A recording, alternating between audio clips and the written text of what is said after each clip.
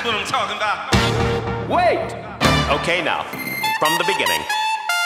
Hit it, boys.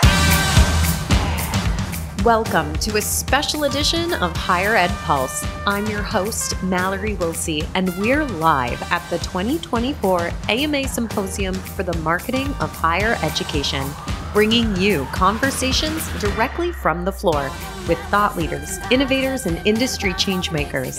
Let's dive in and check the pulse of what's happening right here at the symposium. Hello, everyone. So excited to be with you again. We are at AMA Higher Ed, and I am joined with the lovely Kin Sejpal. We are talking about all of the great takeaways that she's had from the conference. But first, kick it off and tell us about your presentation today. Thank you, Carrie. First of all, for obviously this is an audio episode, but we are both matching in pink, and I love it. I presented today, and whenever I present, I do like to wear colors, so that's my thinking there. And presentation today was about an unbundled and unconventional approach to building a brand. This was really about finding ways to be resourceful when you don't have the resources to embark on a major brand initiative and how you can decouple and uncouple the various components of brand building and make a case for it as you get results in the marketplace. So it was sort of a different way, uh, an opposite way of doing things, but it worked for us, and that's what I wanted to share. You know, and I suspect it's not so dissimilar from a lot of institutions that their dollars are tight, their resources are strapped, having to get buy in for this big ask to do this brand work, sometimes the answer is no. And so it sounds like you found a way to kind of get creative and to do that in a little more segmented approach to get you there. Absolutely, and maybe that's why we had a pretty full house because some of the sessions that I'm noticing that are pretty full are the ones that talk about doing more with less or doing some things on a shoestring budget. You know, you name it, and those are the sessions that are filling up. And so it's pretty prevalent in terms of all the things that we need to do and not have the wherewithal to do it. But yes, I think what I tell my team all the time too is when we don't have resources, we have to get resourceful. And creativity and innovation is really at the heart of everything we do. And so let's get creative and innovative with this as well. So I'm curious, is there a takeaway or two for our folks who are listening who maybe didn't get to be at the conference? One or two things that you tried in that approach that worked that they might be able to apply in their own work? Sure. So we had a list of 10 takeaways at the end um, that I told the uh, folks in the audience that if you, if anything to take away from our presentation, those would be my highlights. The couple that I'll touch on, one of them would be try and pilot. And so sometimes you just have to let the market speak and react and give you the data instead of spending a lot of time kind of deliberating and working through things where it almost gets watered down. If you have a hunch and if you have a gut of what something should be, but you don't have the resources to build it into something that is big and comprehensive. Go with what you have and then adjust as you need to. I love that. I love that. And one of the things that you said a minute ago is when you don't have resources, sometimes you have to get resourceful. As you've been thinking about the conference and the sessions that you've attended, what are the sessions that have stood out for you where folks have done just that? Yeah. So I've gravitated toward a lot of the leadership sessions, uh, the ones that were recommended as a senior leader track. I think the ones that resonated with me the most are really where people are encountering some of the same challenges that we do at our institutions, but they approach them differently because mm-hmm. what works for one institution obviously does not work for the others. But by the same token, some of the things that they encounter as things that we have encountered as well. So for me, that really helps open my eyes to kind of the world of possibilities and allows me to continue to do this creative thinking that I alluded to before. Is okay, this worked for them in this institution. Let me try this a different way in my institution. So, for instance, somebody talked about a, a very um, inexpensive way of doing inbound marketing and lead generation.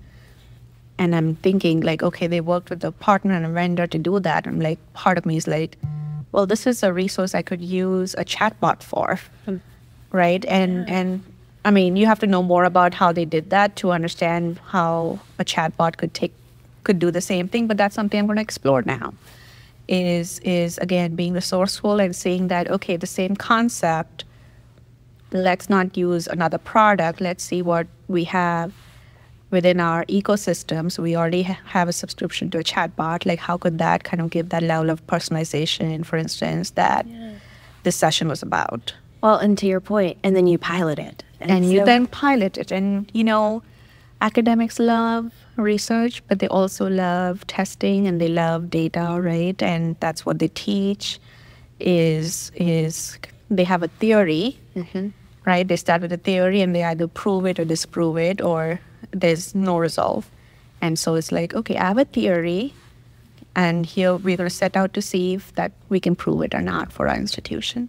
I love that. I love that. One of the things that I talk a lot about is training that next generation of leaders. You know, there are so many people that have worked so hard to get seats at those tables. And how do we make sure those folks coming up in the ranks behind us are prepared for when mm-hmm. their opportunity gets there? So, as you were thinking about your team and your team development and the work you're doing, what are one or two pieces of advice you might give for those future leaders and those rising leaders who are listening of how they can be preparing? Observe and take it in because I think everybody has something to share. They just don't share it very publicly, like come to a conference and maybe make a presentation out of it. But even if you engage in a conversation, like Binti Harvey, right? She's the one of the OGs. I just talk to her one on one every time I meet her, like for 10 minutes, and I get, I just soak it all in because already I feel like I'm going to be a better leader because of what because of the time I spent with her. And the other thing is, and I and it might sound like a broken record, but you just gotta try it. You gotta take risks and try it. Mm. And at your level, wherever that level is, is to lead something, lead a project, lead a, you know, leadership does not always mean having a seat at the cabinet level, right? Leadership is much broader than that. So take ownership and ask for that ownership of a project or an initiative or even a problem for which there's no solution at the moment and try and work that out with with your team or, or ask your supervisor if you can have some resources to kind of figure that out. And that is the preparation perhaps for what you think you're capable of doing. And that will prove it to you that you are in fact capable of doing that but because the mere fact that you thought about it is in and of itself a big deal in my opinion it's quite brave and courageous courageous um, and then you know when you are in that role uh, eventually then you know that you are really going to be rewarded not in terms of rewards and recognition but results I love that. and so that mindset shift about just working toward results, I think it's a little harder for people to grasp because you, as you're progressing through your career, you're so used to getting rewards and recognition and or recognition, I would say. But then when you reach a certain point, the results is what it it's all about. And you kind of have to make peace with the fact. I mean, maybe the other things come or not come, but you have to make peace with the fact that that may not come. Yeah, such good advice. Mm. Well, thank you so much for your time today. And it has been a great AMA conference. We've got another day tomorrow, so lots more sessions to check out. But thanks for your time, Kin. Have a great day, everybody. Thank you so much.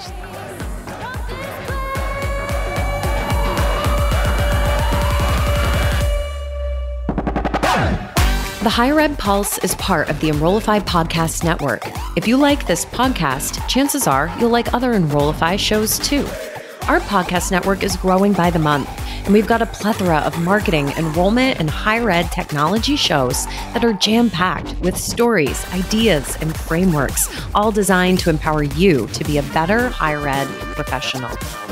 Our show helps higher ed marketers and admission pros find their next big idea and features a selection of the industry's best as your hosts. Learn from Brian Gross, Eddie Francis, Jenny Li Fowler, and so many of your favorite leaders in higher ed. Enrollify is made possible by Element 451, the next generation AI student engagement platform, helping institutions create meaningful and personalized interactions with students. Learn more at element451.com.